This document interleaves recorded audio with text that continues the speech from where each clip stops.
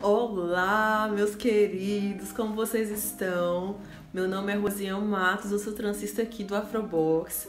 E esses dias, gente, eu recebi muitas perguntas relacionadas ao verão, porque a gente tá chegando no verão, né? Pessoal indo pra praia, piscina, e muitas meninas estão com dúvidas sobre os cuidados que vão precisar ter com as box braids para ir à praia, piscina, cachoeira, etc.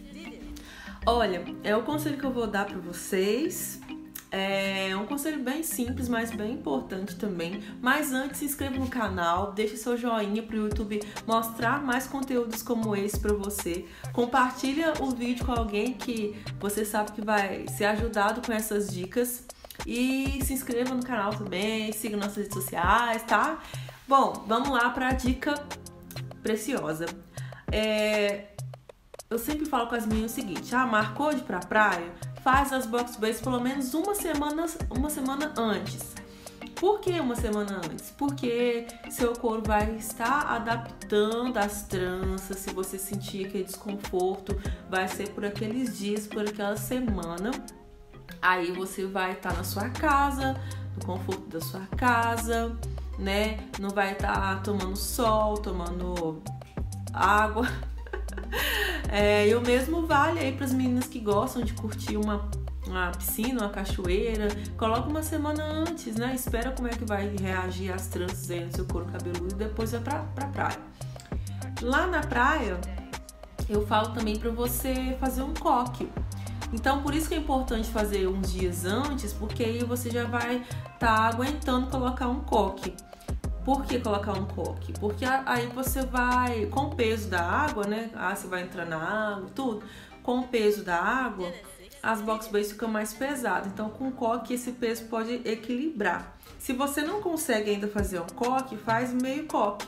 Você prende com uma gominha, uma buchinha, sei lá como é que vocês falam, e, e coloca a, a gominha firmando assim o coque para ele não soltar e ficar mais firme. O que eu preciso fazer depois para lavar? Ah, você entrou na água com as box braids, sei lá, qualquer água de piscina ou de, de cachoeira ou de praia, chega em casa, higienize suas tranças bem higienizado. Você chega, coloca a cabeça debaixo do chuveiro e fica lá esperando a água escorrer para sair a, as areias que ficam, né, a sujeirinha que fica aí na água.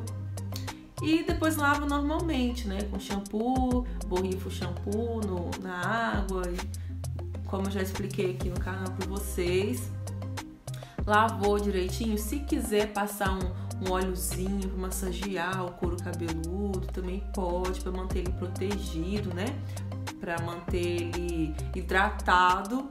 E outra dica também que eu dou é quando você for se expor tanto ao sol, passar protetor no seu couro cabeludo. Sim, nosso couro também precisa de proteção, né? Você passa aí no seu corpo, como as, as tranças vão expor mais seu couro, então passa o protetor também nelas para elas ficarem é, para seu couro ficar protegido.